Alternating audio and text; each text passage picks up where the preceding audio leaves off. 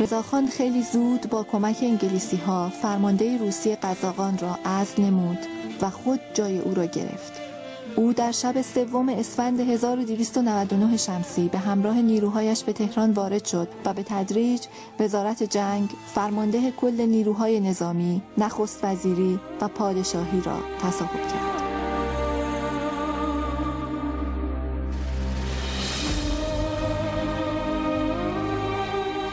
رضاخان کار خود را با تظاهر به اسلام دوستی و علاقه به خاندان اسمت و تهارت آغاز کرد. رضاشاه سعی در ایجاد دگرگونی های عمیقی در عرصه های مختلف از جمله صنعت، رفتارها و ارزش های اجتماعی داشت.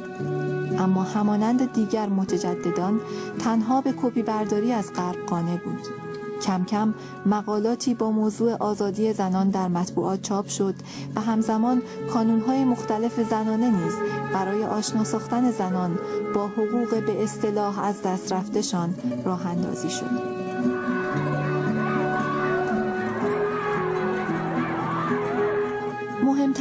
واقعی آن روزها ورود همسر رضاشاه به همراه عدهای از زنان درباری با پوشش غیر مرسوم و زننده به حرم متحر حضرت معصومه در قم بود. آنان در نوروز سال 1306 که مقارن با دهه سوم ماه مبارک رمضان بود برای زیارت و تحویل سال نو به حرم متحر وارد می شوند. خشم عمومی از این جسارت سر تا سر قم را فرا می گیرد. عید سال تحلیل بود. شب دیگه گفته بود که حرم حضرت معصومه. بی حجابی یعنی چی؟ بی حیا. بی احترامیه. با اعتراض برخی از مؤمنین و در رأس اونها مرحوم آیت الله بافقی مواجه میشن. روحانی به نام حاج شیخ محمد تقی بافقی برای خانواده شاه پیامی میفرستد. اگر مسلمان هستید نباید با این وضع به حرم بیایید. و اگر مسلمان هم نیستید باز هم نباید با این وضع در اینجا حاضر شوید. وقتی اختار او مورد بیتوجهی واقع می شود وی شخصا به حرم آمده و از خانواده رضا شاه می خواهد که حرم را ترک کند. آنان با کفش وارد حرم شده و به ضرب و شتم خدام و روحانیون می پردازند. دندانهای رئیس نظمیه قوم به علت اینکه رضاخان او را با عصا مورد ضرب و شتم قرار داده می شکند و شیخ محمد تقی بافقی پس از توهین ها و کتک های فراوان دستگیر و مادام العمر به شهر ری تبعید می شود.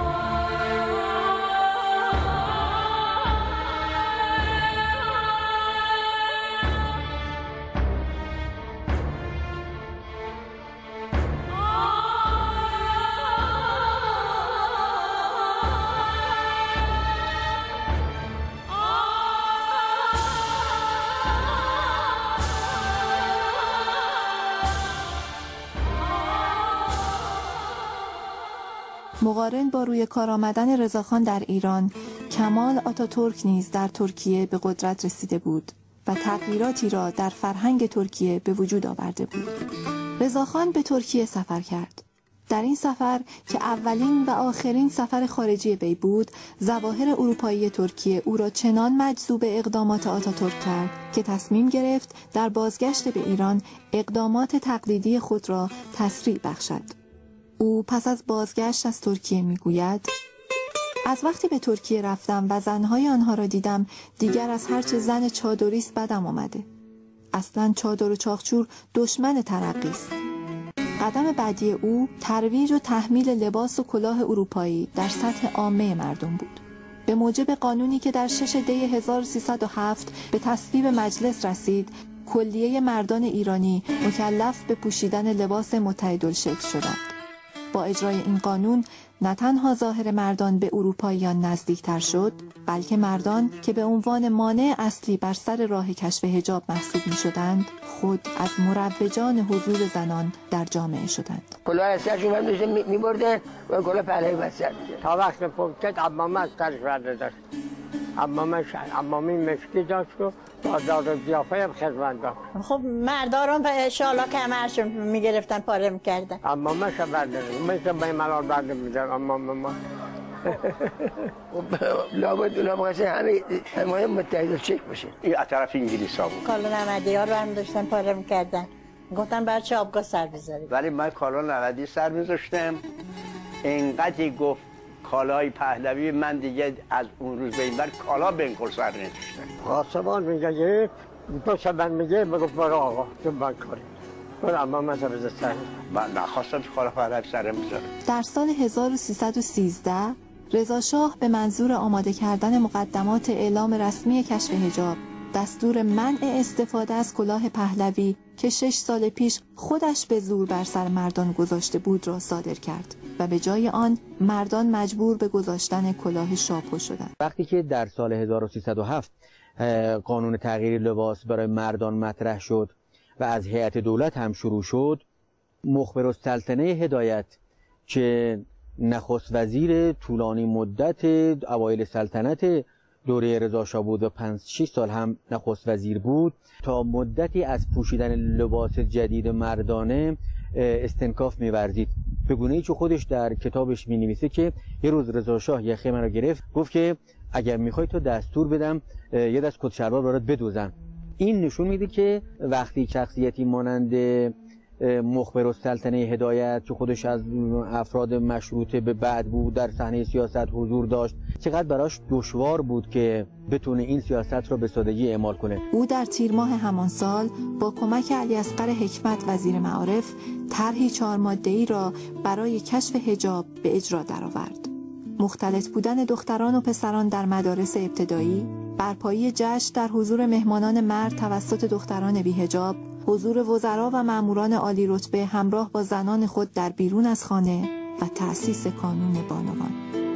وظیفه این کانون ها این بود زنان روشنفکر را دور هم جمع کرده و آنان را متوجه این مسئله نمایند که کشف هجاب به زودی رسمیت خواهد یافت و لازم است آنان خود را با این نظم نوین هماهنگ سازند. این گونه بود که با برداشتن چادر توسط زنان کانون مردم در شهرهای بزرگ شاهد حضور زنان بیهجاب در معابر عمومی می شوند. زنانی که طبق اظهارات بدرالملوک بامداد دستور حفاظت از آنان توسط شاه به طور محرمانه به پلیس داده شده بود.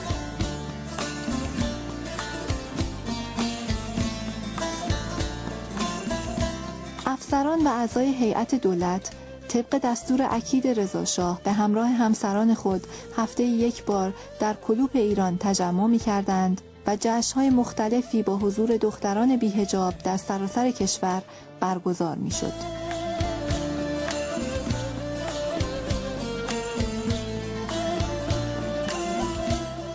بالاخره خبر این جشنها خشم مردم را برانگیخت. رضاخان ابتدا از روش های تشویقی و تبلیغی برای جا انداختن بیهجابی در کشور استفاده کرد. حکمرانان هر منطقه مأموریت یافتند جشنهای متعددی را به راه انداخته و گزارشاتی را به طور مرتب به مرکز اعلام کنند. راه اندازی این جشنها اختصاص به شهرهای بزرگ نداشت در یکی از گزارش هایی که به وزارت داخله ارسال شده به نقل از حسن سپاهی کفیل دفتر آمار جیرفت آمده است. چنان که در راپورت قبلی عرض شد جلسات عدیده در منزل رؤسا و اعضای دوائر و معارف محلی منعقد و به طور کلی به استثنای خانم های ایلات آن حدود که به طور طبیعی هجاب نداشتهاند نسوان شهری هم که از اطراف به آنجا آمده اند عموما هجاب یعنی چادر سیاه مزلت را کنار گذارده و بی هجاب در عبور و مرورند. پروازه بود که گروهی طرفدار پروپا قرص کشف هجاب باشند.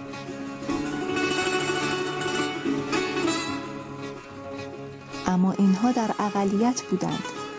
اکثریت مردم و حتی گروهی از دولتیان در مقابل کشف هجاب سخت مقاومت می کردن. زمانی که از او دعوت می شود که همراه همسرش در یکی از مجالس کشف هجاب شرکت کند می گوید خانمی مجلس آرا ندارم و تنها آمدن هم خلاف نزاکت است. معمور میرم خونه کتکدا کتکدا پاکار جار می‌زد که چادرهای باید بردارید مردم قایم می‌شدن با جبهگیری مردم علیه کشف هجاب دولت دست از نرمش برداشت. و به زور و تنبیه متوسل شد. اگه مامورا می‌دیدن چادر از سرشون میکشیدن فاشون می‌دادن چادر ذره ذره می‌کردن ریش می‌کردن. رو سری از سری که برداشتن عبرشون بپاره نمیشه گوهی زیر چکمش کشید تا پاره کرد انداخت جلوش.